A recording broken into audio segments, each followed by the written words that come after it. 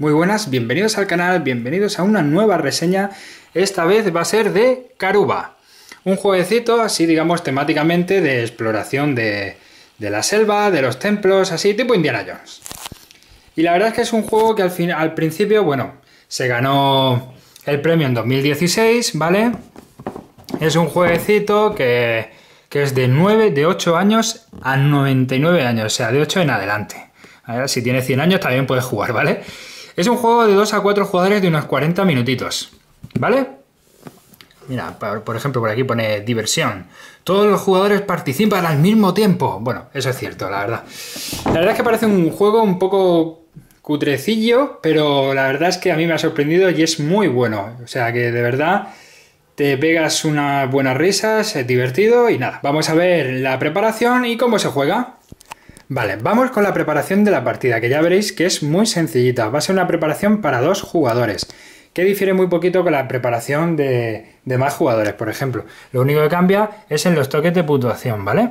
Que serían de 5 y de 3, de 5 y de 3, de 5 y de 3, de 5 y de 3, ¿de acuerdo? En vez de ser de 4 y de 2, ¿vale? Y conforme se vayan eh, consiguiendo, pues se irá viendo, ¿de acuerdo? En la explicación de la partida. Entonces se coloca esto, se deja al lado, lo que sería al lado de cada jugador, a la mano, lo que serían las pepitas y los diamantes, ¿de acuerdo? Luego cada jugador eh, nos llevamos eh, lo que sería un tablero de isla, ¿vale? Para cada jugador. Además nos llevaremos de cada color lo que sería el explorador y el templo de cada color, ¿vale? Aquí los tenemos. Y además nos llevaremos las losetas de isla de cada de algún color, ¿vale? En este caso el amarillo, para el jugador inicial que sería el jefe de expedición. Los demás jugadores yo recomiendo que pongan las losetas en orden, ¿vale? Por numeración para poder encontrarlas, porque digamos que el jefe de expedición irá diciendo losetas por su número y así pues será más fácil ir encontrándolas, ¿vale? Ya por último queda eh, ir colocando los exploradores por donde entrarán de la isla, ¿vale? Y los templos por la profundidad de la isla, ¿de acuerdo? Por donde de juego el jugador inicial, el jefe de expedición, cogerá un color, por ejemplo el amarillo, y decidirá dónde entra el explorador, en este caso, por ejemplo, en el 40, ¿vale? Y luego decidirá dónde poner el templo amarillo. En este caso, en la profundidad será, pues dice 80. ¿Vale? Hay una regla de colocación donde dice que el templo tiene que estar a un mínimo de 3 de numeración con el explorador del mismo color, ¿vale? No puedes colocarlo más cerca, si no sería hacer trampa. Entonces el otro jugador vendría y cogería el explorador amarillo que hemos dicho que estaría en 20 y el templo que hemos dicho que estaría en 80, ¿vale?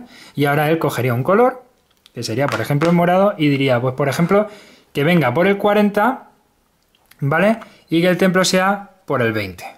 ¿Vale? Entonces ahora el otro jugador, pues así, pondría el explorador en 40 y el templo en 20, ¿vale? Así vamos creando la isla y que todo el mundo tengamos la misma isla, ¿vale? Ahora el jefe de expedición cogerá el azul y dirá, pues este lo voy a colocar, pues por ejemplo en el 70.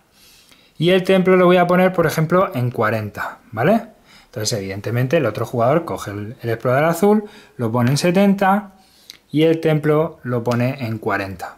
Y por último, coge a Zorullito, digo al marrón, y, coloca y dice, pues por ejemplo, que lo tiro todo, por ejemplo, pues lo ponemos al marrón en 100 y el templo, pues por ejemplo, lo vamos a poner en, pues no sé, por ejemplo, en 90, ¿vale? Están los dos juntitos, pero bueno, está a una distancia de 3, ¿vale? Y entonces el último ya, por fin, pone, eh, hemos dicho en 100 a Zorollito, eh, perdón, eh, el este y el templo, ¿vale? Lo coloca en donde ha dicho. Y así ya tendremos lo que es la preparación de la partida, que es muy sencillito, como podéis ver. Todos tenemos la misma isla, ¿vale? Ahora vamos a ver el cómo se juega. Vamos a ver cómo se juega en Caruba, ¿vale? Em, para empezar, empieza el jugador inicial que sería el jefe de expedición. Entonces, ¿qué se puede hacer? Pues lo que va a hacer va a ser sacar una loseta aleatoria, ¿vale? Por ejemplo, la 5 y la pone donde quiera la isla, no tiene que ponerla ni al principio de un explorador, ni al principio de un templo, ni adyacente a una loseta que ya hay, pero siempre con la regla de colocación de que el número tiene que estar arriba a la izquierda, ¿vale? Siempre tiene que estar así, no podemos ni colocarla así, ni colocarla así, ni naranjas de la China, así, ¿vale?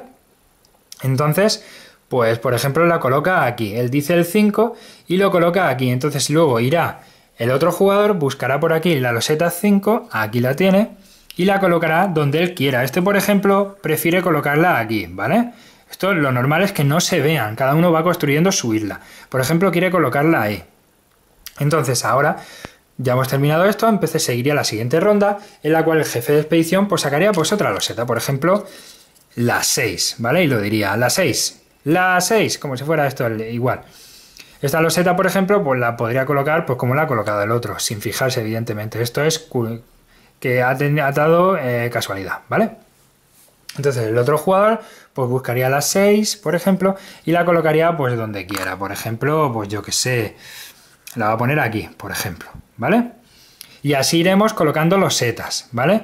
Conforme vamos teniendo una, un, un caminito, ¿vale? Por ejemplo, pues tenemos esto así. Bueno, esta no la vamos a poner, Vamos a poner, por ejemplo, una que sea así para no cortar el camino, ¿vale? Vamos colocando los setas conforme va diciendo el jefe de expedición. Por ejemplo, también, pues el jefe de expedición saca, por ejemplo, esta loseta que tiene una, una, una pepita, pues la pondremos y le pondremos la pepita. Igual con el diamante, por ejemplo, nos sacan una loseta de diamante y queremos ponerla, la ponemos, ¿vale? Aquí, por ejemplo, y le ponemos un diamante, porque tiene un diamante, ¿vale? Luego saca otra loseta, por ejemplo, y la queremos también poner, y la ponemos aquí, por ejemplo. ¿Vale? Aquí ya tendríamos el camino para que el jugador morado, digo el jugador morado, el explorador morado, llegue al templo morado. Pero esto se va construyendo, ya te digo, como quieras, poner las losetas como quieras, pero siempre con el número arriba a la izquierda. ¿Vale? El jefe de expedición pues dice otra loseta. Entonces, además de poner la loseta, tú puedes elegir no ponerla y descartarla. Y si eliges descartarla, la dejas, la descartas y ves cuántas salidas tiene la loseta, en este caso dos. Pues tú puedes elegir que un explorador tuyo, sea cual sea, ande dos movimientos, uno y dos, ¿vale? Por donde sea, por el camino que sea. Evidentemente, si estás aquí y hay uno aquí, un explorador aquí, tú no puedes decir uno y dos y quedarte al lado, no puedes. Igual que si está aquí, tú no puedes llegar a decir uno y dos y saltarlo. Tú tienes que quedarte esperando a que este explorador se vaya, se aparte, ¿vale? Venga. Pues una vez esto hemos descartado, hemos contado dos porque son las dos salidas. Si hubiera sido este, serían tres. Podríamos llegar y decir, pues uno, dos y tres. Pararnos aquí, si nos paramos aquí, cogeremos la pepita de lo que vale dos puntos, ¿vale? Y la guardaremos en el explorador que la ha cogido, ¿vale? En este caso, ahí. Así, tal cual. Si la pepita hubiera estado aquí y nos sale tres puntos, decimos uno, dos y tres podemos pararnos aquí, pero como hemos pasado corriendo, no la cogemos. Entonces tendríamos que decir 1 y 2, sacrificar un movimiento y coger la pepita porque tenemos que pararnos en el sitio de la loseta. ¿De acuerdo?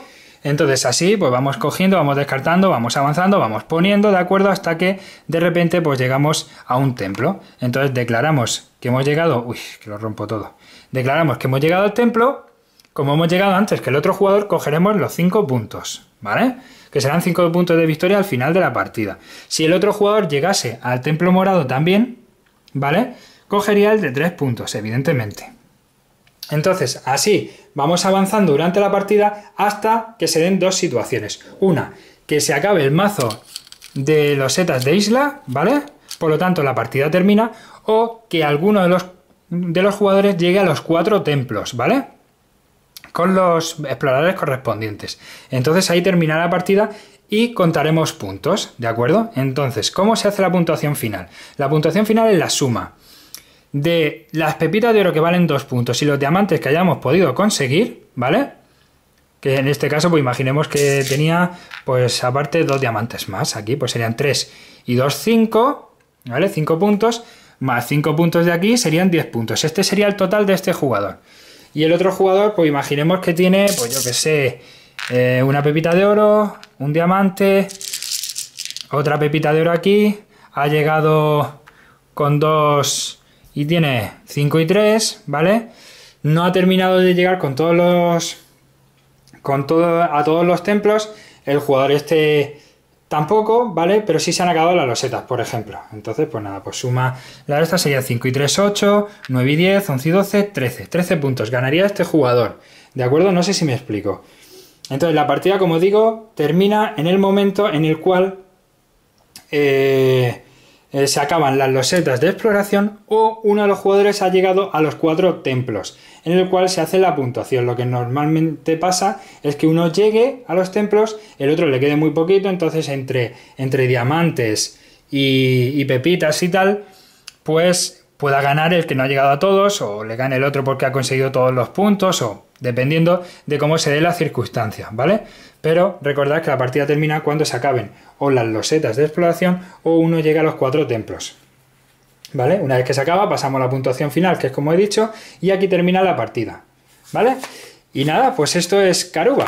Ya veis que es un juego muy, muy sencillito, muy fácil de explicar, muy fácil de preparar. Es un juego que todo, todo público puede eh, jugar. No hace falta que seas aquí un, un jugador experimentado ni, ni un gran estratega, nada, nada.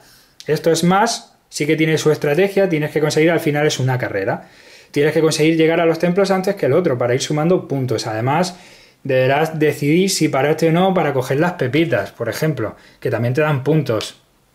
Es un juego el cual, pues, aquí AP no hay, porque, a ver, puede haber un poquito de AP, evidentemente, donde puedes dejar la loseta, pero como todo el mundo juega a la vez, pues es difícil que el juego se pare, ¿vale? La verdad es que es un juego que recomiendo, a mí me ha encantado muchísimo. Es decir, es un juego que no aposté mucho por él, pero me parecía divertido, me, picó la curiosidad. Entonces, al comprarlo, probarlo y tal, la verdad es que me gustó bastante, te ríes bastante y es un juego que es muy sencillito y que recomiendo en todo momento, ¿vale? Te vas a pegar una risa, va a ser un poquito, sí, va a ser un poquito frustrante porque no te van a salir las losetas que tú esperas en algún momento y entonces tienes que ir poniendo, digamos, como si la pongo aquí a lo mejor puedo salir por aquí, si la pongo tal, elaborando tu propio camino. Pero bueno, que al final el juego, la verdad es que es muy divertido, te, te ríes bastante. Juegas una partida, tienes más ganas de jugar otra, pues son partidas muy rápidas. Así que pues nada, esto es Caruba, espero os haya gustado el vídeo, si tenéis el juego, pues perfecto. Si no lo tenéis aún, yo os recomiendo que lo compréis porque es un juego muy barato para lo que aporta, es muy divertido y todo el mundo puede jugar, ¿vale? Y nada, pues espero que os haya servido de ayuda. Un saludo a todos y nos vemos en el siguiente vídeo. Adiós.